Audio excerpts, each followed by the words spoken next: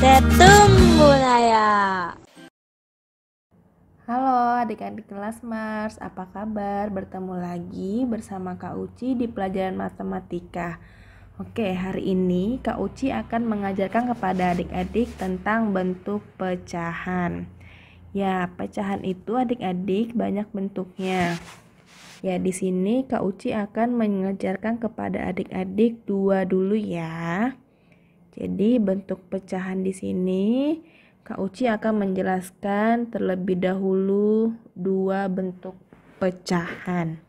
Ya, yang pertama itu ada pecahan biasa. Ya, yang kedua itu ada pecahan campuran. Nah, pecahan biasa juga dibagi dua adik-adik. Ada pecahan murni, ada yang tidak murni. Nah, bedanya apa sih pecahan murni dan tidak murni ini? Ya, kalau pecahan murni ini adik-adik, pecahan yang pembilangnya lebih kecil dari penyebutnya. Ya, jadi contohnya kayak yang eh, sudah adik kenal seperti biasa. Misalnya 1 per 2, 3 per 4, eh, berapa lagi 2 per 5. Nah, di sini kan pembilangnya lebih kecil daripada penyebutnya. Ingat nggak adik-adik pembilang itu yang mana? Ya, pembilang itu yang bagian atas. Ya, jadi yang bagian atas ini disebut pembilang. Yang bagian bawah ini disebut penyebut. Nah, jadi di sini pembilangnya, jadi yang di atas lebih kecil daripada yang di bawah. Ini juga sama, lebih kecil daripada yang di bawah, lebih kecil daripada yang di bawah. Sampai sini tahu ya adik-adik? Ya, jadi pecahan yang biasa adik-adik kenal selama ini itu namanya pecahan murni. Ya. Nah, kalau tidak murni itu yang bagaimana? Nah, kalau yang tidak murni itu berarti pecahan yang pembilangnya lebih besar dari penyebutnya. Ya, jadi pembilangnya lebih besar daripada penyebutnya. Contoh, 5 per 3, 7 per 4, 11 per 7. Ya, kalau di sini juga sama adik-adik. Nah, di sini coba deh adik-adik lihat. 5 lebih besar kan daripada 3?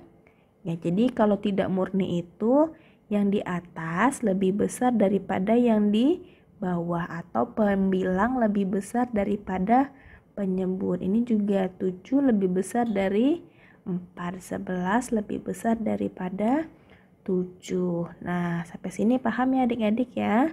Bedanya antara murni dan tidak murni. Nah, berikutnya ada pecahan campuran.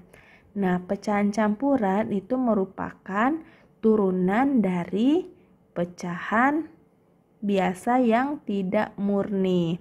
Nah, jadi pecahan tidak murni ini dapat diubah menjadi pecahan campuran. Begitu juga sebaliknya, pecahan campuran dapat diubah menjadi pecahan biasa yang tidak murni gitu adik-adik. Nah, bentuk pecahan campuran ini adik-adik biasanya terdiri dari bilangan bulat dan pecahan ya. Jadi pecahan campuran ini terdiri dari bilangan bulat dan pecahan biasa yang murni ya. Jadi terdiri dari bilangan bulat dan pecahan biasa yang murni. Ya, contohnya apa? Misalnya contohnya 1 1 per 2. Nah, di sini 1 1 per 2 itu terdiri dari bilangan bulatnya itu 1 dan pecahannya itu 1 per 2. Nah, ini disebut pecahan campuran. Nah, jadi terdiri dari bilangan bulat. Ini bilangan bulatnya adik-adik. Dan terdiri dari pecahan biasa yang murni. Nah, ini pecahan biasa yang murni. Sampai sini paham ya? Ya, jadi contoh lainnya misalnya ada eh, selain satu satu per dua, misalnya ada 2 3 per 4 terus misalnya 3 1 per 3 nah ini sama adik-adik bilangan bulatnya di sini ada 2 ya. Pecahannya 3 per 4 ini juga sama bilangan bulatnya 3 dan pecahan biasanya 1 per 3 gitu adik-adik. Oke? Nah selanjutnya Kak Uci akan menjelaskan kepada kalian bagaimana mengubah pecahan biasa menjadi pecahan campuran. Ya jadi Kak Uci akan mengajak adik-adik mengubah pecahan biasa menjadi pecahan campuran. Ya, bagaimana caranya? Nah, tadi kan pecahan biasa yang bisa diubah menjadi pecahan campuran itu adalah pecahan biasa yang tidak mur tidak murni. Jadi, bias, jadi yang di atas atau pembilangnya lebih besar daripada penyebutnya. Contoh ya adik-adik. Nah, di sini contohnya misalnya 5 per 3. Oke, misalnya 5 per 3 ya adik-adik. Nah, 5 per 3 ini kita umpamakan 5 ini sebagai permen. Dan 3 ini adalah orang. Jadi, 5 permen akan dibagikan kepada 3 orang. Ya, misalnya ini permennya. 1 2 tiga, empat, lima. Nah, lima permen ini akan Kak Uci bagikan kepada tiga orang. Misalnya ada Ayu, Beni, dan Caca. Jadi yang ini buat Ayu, yang ini untuk Beni, dan ini untuk Caca. Nah, misalnya ini buat Ayu lagi. Ini buat Beni. Nah, terus cacanya mana? Nah, cacanya tidak kebagian kan adik-adik? Jadi karena caca tidak kebagian, jadi Ayu dan Beni permen yang ini tidak boleh kita berikan kepada Ayu dan Beni. Jadi biar adil. Jadi Ayu dapat satu permen, Beni dapat satu permen, dan Caca juga dapat satu permen. Nah, karena Ayu, Beni, dan Caca dapat satu permen, jadi pecahan 5 per 3 ini bilangan bulatnya adalah sah satu karena setiap orang mendapatkan satu per permen. Nah, terus dua permen lagi dikemanakan? Nah, dua permen inilah yang kita jadikan suatu pecahan. Jadi dua permen ini kita jadikan pembilang dan per tiga. Tiga ini penyebutnya karena tiga ini tadi tiga orang, jadi kita tulis dua per tiga. Jadi pecahan campuran dari lima per tiga itu adalah 1, 2 per 3. Sampai sini paham ya adik-adik? Oke, kita berikan contoh yang lain. Masih menggunakan gambar. Misalnya 7 per 4 ya adik-adik ya. Atau 9 per 4. Ya, 9 per 4. Nah, jadi ini kita umpamakan seperti tadi. Ini permen dan ini orang. Jadi 9 permen akan kita bagikan kepada 4 orang. Oke. 1 2 3 4 5 6 7 8 9. Oke, empat orang ini misalnya ada Ayu, Beni, Caca, satu lagi dan nambah Didi misalnya.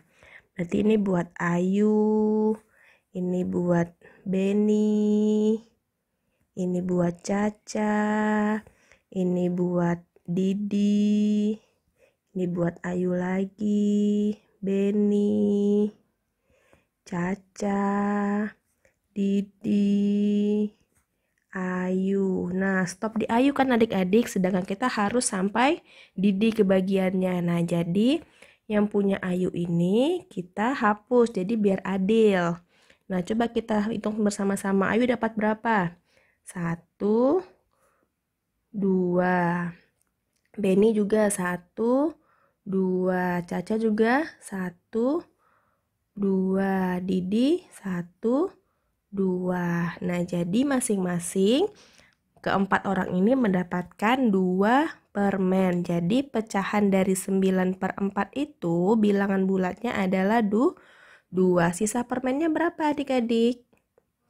Ya satu. Jadi satu ini satu permen itu kita jadikan pembilang dan empat orang jadi itu sebagai penyebut. Jadi dua satu per empat. Nah jadi untuk e, 9 per 4 itu pecahan campurannya adalah 2 1 per 4.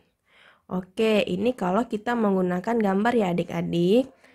Oke, ada cara lainnya adik-adik ya, bisa menggunakan pembagian atau pengurangan. Oke, kita coba dengan menggunakan pembagian terlebih dahulu. Misalnya tadi 5 per 3. Nah, bisa adik-adik menggunakan pembagian yang seperti biasa 5 per 3. Jadi pakai pembagian kurung. Nah, biasanya pembagian kurung ini bisa di, paling enak digunakan kalau pe, pembilangnya itu lebih besar. Jadi lebih enak pembagiannya. Nah, jadi misalnya 5 per 35 dibagi 3. Adik-adik harus ingat perkalian 3. Coba kita tulis dulu perkalian 3 itu ada apa saja adik-adik. Perkalian 3 itu ada 1 kali 3 sama dengan 3. 2 kali 3 sama dengan 6. 3 kali 3 sama dengan 9 dan seterusnya ya adik-adik ya. Nah, kita lihat di sini baru sampai li 5. Nah, di antara 3, 6, dan 9 yang lebih kecil dari 5 yang mana adik-adik? Ya, yang lebih kecil daripada 5 itu ada ada 3. Nah, jadi 5 dibagi 3 itu eh, adanya di barisan ini. Nah, berapa 5 bagi 3 yang paling mendekati? Itu ada 1. Iya, jadi satunya ditulis di atas. Nah, 1 dikali 3. Nah, habis itu ini dikali adik-adik. Nih, ini dikali. 1 dikali 3 berapa? 3. Nah, setelah itu kita kurangi. 5 dikurang 3, 2. Nah, adik-adik kalau sudah seperti ini, adik-adik bisa langsung memindahkannya. Nah, bagaimana cara memindahkannya? Yang bagian atas ini adik-adik, bagian atas ini kita jadikan sebagai bilangan bulat. Jadi, 1, dan yang di bawahnya ini sebagai sisanya dan sebagai pembilang pecahannya yaitu 2 karena pembagiannya 3 berarti 2 per 3 jadi 5 per 3 itu sama dengan 1 2 per 3 ya ini kalau pakai pembagian. Oke, selanjutnya kalau menggunakan pengurangan bagaimana? Itu lebih gampang adik-adik. Kalau menggunakan pengurangan dengan angka yang masih sekecil ini adik-adik tinggal nulis misalnya 5 per 3 sama dengan artinya 5 dikurang 3 5 kurang 3 berapa adik-adik? Iya 5 kurang 3 itu du, 2 Nah adik-adik lihat pengurangannya ada berapa kali di sini? Ada sah? Satu. Adik-adik tinggal menulis berarti satunya ini pengurangannya ini taruh di sini sebagai bilangan bulat, duanya ini sisanya taruh di atas, terus per 3 gitu. Lebih gampang ya adik-adik ya kalau menggunakan pengurangan. Oke, coba lagi tadi misalnya 7, eh berapa? 9 per 4.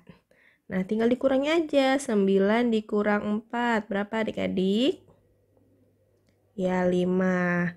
Nah, 5 ini masih bisa nggak dikurang 4? Masih bisa, berarti 5 dikurang 4 lagi adik-adik. Berapa adik-adik 5 kurang 4? 1. 1 masih bisa nggak dikurangin 4? Nggak bisa ya, karena satu itu terlalu kecil ya, lebih kecil daripada 4. Jadi kita stop sampai di 1. Nah, sekarang adik-adik lihat ada berapa pengurangannya? Ada 1, ada 2. Nah, jadi bilangan bulatnya kalian tulis du, 2 karena pengurangannya ada 2. Dan sisanya ada berapa adik-adik? Sisanya ada sa, 1. 1 itu sebagai pembilangnya dan per 4 adalah penyebutnya. Jadi, pecahan campuran dari 9 per 4 itu adalah 2, 1 per 4. Ya, lebih gampang ya adik-adik ya kalau menggunakan pengurangan sama juga. Misalnya, mau berapa lagi angkanya yang lebih gede? Misalnya, eh, 20 per hmm, 6 sama dengan boleh, 20 dikurang 6. Berapa adik-adik? Iya, 14. 14 masih bisa nggak dikurang 6? Masih bisa. 14 kurang 6. Iya, 8. 8 masih bisa kurang 6 adik-adik? Masih kan? 8 masih lebih besar ya daripada 6. Kita kurangi 6 lagi. Berapa adik-adik? 2. 2 bisa nggak kita kurangi sama 6? Sudah tidak bisa karena 2 itu lebih kecil daripada 6. Sekarang kalian hitung pengurangannya ada berapa kali? 1, 2, 3. Berarti tiganya kita tulis di sini. Sisanya 2 dan per 6 karena penyebutnya 6. Jadi pecahan campuran dari 20 per 6 adalah 32 per 6. Gampang ya adik-adik ya. Oke, selanjutnya kita akan mengubah pecahan campuran menjadi pecahan biasa. Contoh 1, 2 per 3. Nah, ini caranya gampang gampang adik-adik. Tinggal bilangan bulatnya ini kita kalikan penyebut ditambah pembilang per penyebut. Ya, ini rumusnya ya adik-adik ya. Jadi, bilangan bulat dikali penyebut ditambah pembilang per penyebut. Nah, itu bagaimana adik-adik? Nah, jadi bilangan bulatnya berapa di sini adik-adik? 1, 2, per 3. Bilangan bulatnya adalah sa 1. Penyebutnya berapa adik-adik? 3, ya. Kali ti 3 ditambah pembilang. Pembilangnya berapa? Du, 2 dibagi penyebutnya ti 3. Nah, kalian tinggal tulis 1 kali 3. 3 tambah 2, 5. Per 3. Contoh lain. 2, 1 per 4. Sama ya adik-adik ya. Bilangan bulatnya 2 dikali penyebutnya 4 ditambah pembilangnya 1 per penyebutnya 4. 4 sama dengan 2 kali 4 8 tambah 1 9 per penyebutnya 4 nah jadi untuk pecahan campuran 2 1 per 4 itu adalah 9 per 4 dan untuk pecahan campuran 1 2 per 3 itu pecahan biasanya 5 per 3. Oke, gampang ya adik-adik ya untuk mengubah pecahan campuran menjadi pecahan bi biasa. Nah, selanjutnya adik-adik dapat mengerjakan latihan yang ada di web, di lembar kerjanya. Setelah itu kalian dapat menguploadnya di Edmodo. Oke adik-adik, sampai bertemu di pecahan-pecahan selanjutnya. Terima kasih adik-adik.